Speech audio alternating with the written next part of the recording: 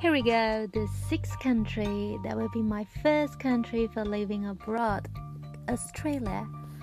So, in the end of 2012, I got the working holiday visa to Australia. So, I just went to Australia by myself. Um, actually, one day before my flight, I was really sick. Uh, my younger sister accompanied me to the emergency department and the next day I still feel weak and I was laying on my bed and my mom told me oh if you don't feel well um, you don't have to go. But finally I made a decision that uh, I'm still going. So I still remember that on the aircraft I was vomiting all the time. Uh, it's a budget airline Air Asia. And then I, I feel really sorry because I gave the full air sick back to the cabin crew. and but I feel really, really that was the right decision for going to Australia because I really enjoyed my life in Australia. Um, but before I arrived, I already found myself a, a, a solution for accommodation. Like I found myself to be an au pair, so I don't have to pay for any accommodation. it was my very first time au pair experience. Excuse me. I still remember the family got four kids, and every morning, you know, I have to wake them up, prepare for their uh, lunchbox, and do the girls' hair, and and send the youngest one to the daycare, and then yeah, it was really funny because uh, there are a lot of uh, things I've never done before. And I was with the family only for one week, and after that, I moved out in a share house. And but when I arrived the share house, I haven't found any job yet, so I told the uh, landlord that uh, to allow me to sleep uh, in the living room, which is a couch and I even introduced him for couch surfing because I want to, you know, just just couch surf at his place. And I still remember I, I told the landlord that you can't charge me at the moment because I don't have any job yet. but luckily, I just found a job like very soon uh, through a job agent called uh, uh, At Work in in Perth. So, and then I got like three months job contract in the second largest city in Western Australia called Bunbury. So I worked in a, a farmer's market as a bulk food uh, staff, you know, just helping for the food like shop presentation, answering customers' um, inquiry, uh, review for the till, and so on. Now I was staying in a share house and the, the landlord is a local and the other flatmates were, were all from Hong Kong. You know, they were doing the same working holiday. And after three months of working uh, uh, in Bunbury, I just decided to travel. so and after that, I went to Vanuatu, and New Zealand, and Fiji. And then I returned back to Hong Kong to visit my family, and after that, continue back to Australia. So when I came back to Australia again, I haven't found any accommodation yet. But after landed, the next day I found myself another job in Midland as a cashier in the supermarket. And so for one month, I lived in a hostel. I still remember the hostel is very close to the gable, so every night it was really don't start very noisy, but still I fall asleep. So one month later, I found a, a, a accommodation in uh, Murray Street. And then also I moved to another place for work because the previous one is just a temporary job. And then I found a job in uh, Fremantle, um, worked in Peaches Fishery Market as a cashier.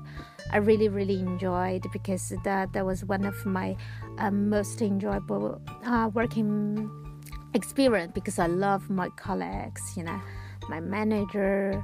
Uh, they were super, super funny and they were Italian and I'm, I'm British and uh, they're just lovely people, adorable. I really miss them.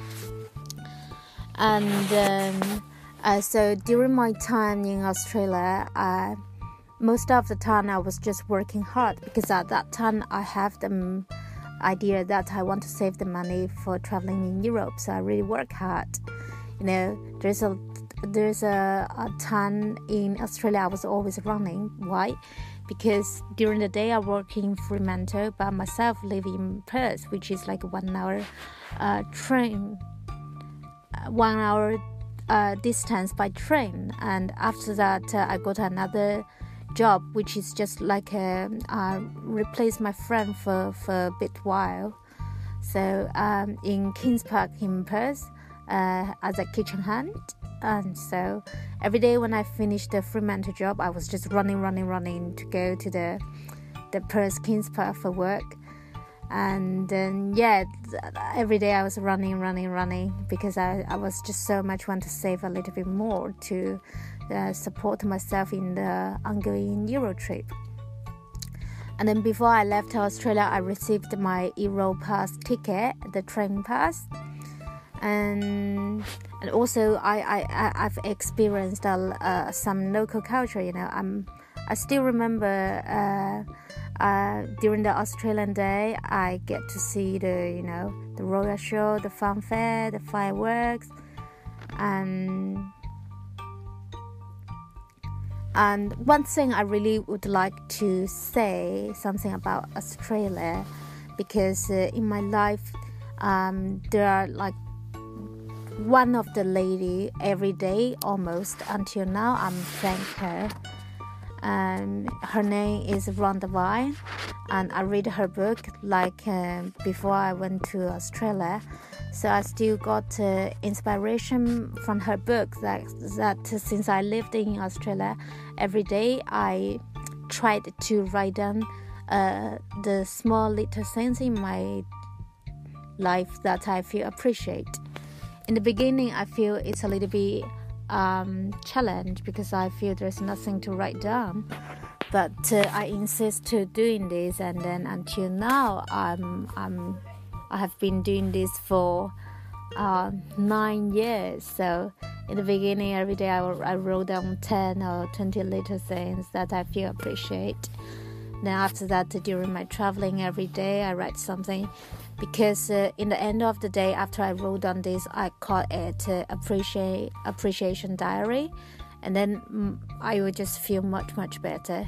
And especially this year every day i, I, I wrote down more than 100 little things that can be divided in in the past happening now and in the future. All the little things i appreciate so which made myself a, a very good vibration.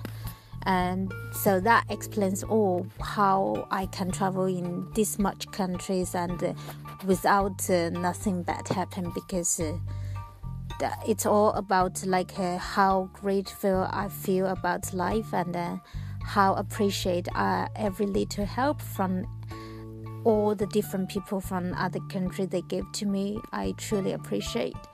So the more I appreciate, the more I will receive, and that that's the law of attraction. And uh, that's one of my faith. And during my time in Australia, actually, I was just working hard, and uh, and meanwhile, just being like a, um, mm, just learning the local culture.